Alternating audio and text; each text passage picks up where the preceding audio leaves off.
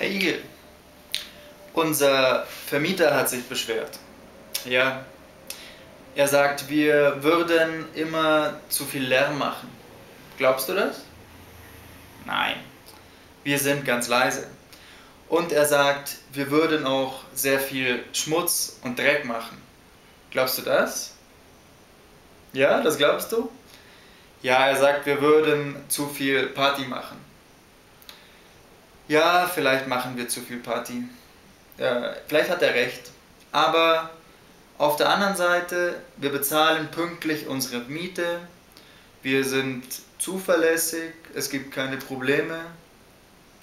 Okay, vielleicht hat er recht damit, wenn er sagt, dass wir zu viel Lärm machen würden und dass wir vielleicht zu viele Partys machen würden.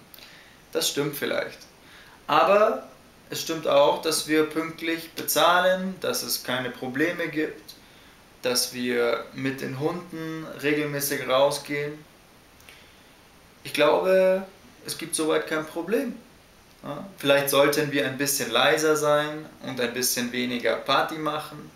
Vielleicht sollten wir auch ein bisschen weniger Schmutz und Dreck machen und dann ist eigentlich alles super. Was meinst du? Ja, bist du auch meiner Meinung. Das ist super. Dann sollten wir das so machen. Alles klar? Ja.